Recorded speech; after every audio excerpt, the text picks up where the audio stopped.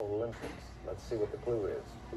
She's the first female track and field athlete to win medals in five different events at a single Olympics. 30 seconds. Good luck. She's the first female track and field athlete to win medals in five different events at a single Olympics.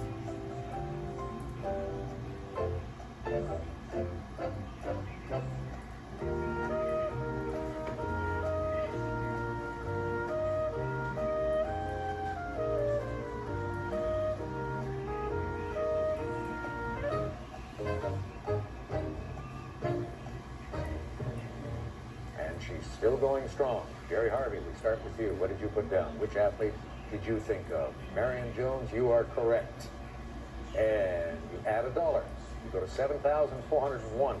Let's go to Julia Lazarus. Did she come up with Marion Jones? She's shaking her head. Why?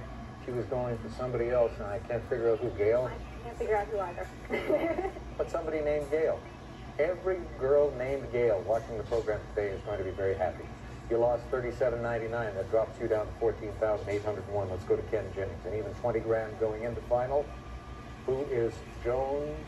And we will accept that in terms of female athletes. There aren't that many.